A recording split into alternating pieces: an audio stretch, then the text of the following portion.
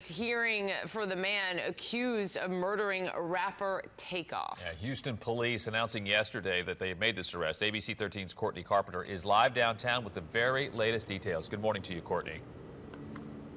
Yeah, good morning, Jeff and Courtney. HPD has told us there were a lot of people around when this shooting happened, but now we're finding out more about why police say this is the man accused in Takeoff's death. Go and take a look at this video. This is Patrick Xavier Clark. He's 33 years old. He's from Houston. This is him appearing in probable cause court late last night.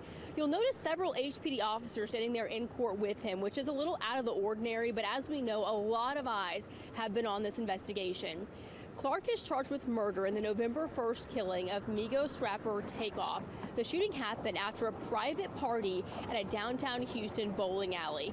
Investigators say there was a fight over a high stakes dice game. HPD says Takeoff was not involved in the dice game or the fight, but was in the wrong place at the wrong time.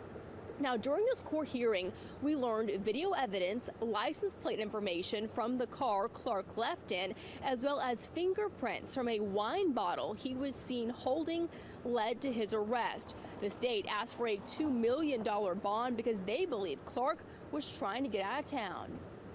Investigation, uh, investigators learned that he recently purchased tickets to Mexico just two days prior to his arrest and applied for and received an expedited passport. So we believe that he had plans or has plans to flee the jurisdiction if released on bond. The judge did set his bond at $2 million.